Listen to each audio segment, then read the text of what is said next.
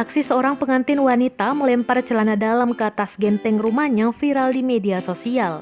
Beberapa orang percaya bahwa melempar celana dalam ke atap rumah bisa menghentikan hujan dan membuat langit cerah, sehingga acara pesta pernikahan atau hajatan pun akan berjalan lancar. Tradisi melempar celana dalam bekas dipakai ke atap rumah saat akan menggelar hajatan telah menjadi hal yang lazim di tengah masyarakat. Kepercayaan ini telah menjadi turun-temurun bagi para pasangan pengantin.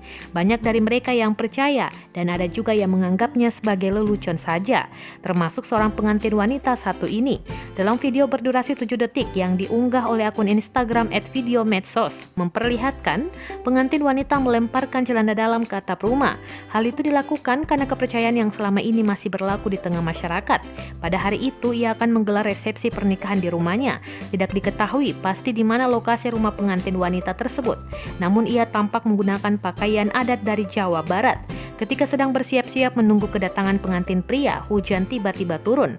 Meski tidak begitu lebat, ia tak mau resepsi pernikahannya menjadi tidak menyenangkan. Ada sebuah kepercayaan yang mengatakan kalau melempar celana dalam bekas dipakai pengantin ke rumah, itu akan membuat hujan menjadi berhenti. Pengantin wanita yang telah siap didandani itu pun mengambil celana dalam bekas dipakainya. Ia kemudian beranjak menuju belakang rumahnya untuk melakukan ritual tersebut. Pengantin wanita itu tampak menggenggam celana dalam berwarna pink. Dengan menggunakan pakaian adat Jawa Barat, ia melempar celana dalam berbentuk segitiga itu ke atap rumah.